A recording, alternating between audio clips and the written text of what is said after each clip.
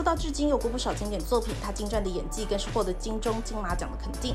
近日，她则大胆突破自己，到大陆参加选秀综艺节目，引起不少网友议论纷纷，一举一动备受外界关注。但她五日突然在微博上晒出四张与金像奖影后刘亚瑟的合照，并开心在内文中写下：“没想到是在这个节目的舞台与刘亚瑟相遇。”一起完成舞台训练的过程实在是搞笑难忘。接着贾静雯则表示，在这个路口相遇，下个路口就同台飙戏吧。看到最后一句话，直接让大票网友激动不已，纷纷笑说：“懂事的导演们，现在开始该递剧本了。”真的好想看两个影后一起演戏，一定很过瘾啊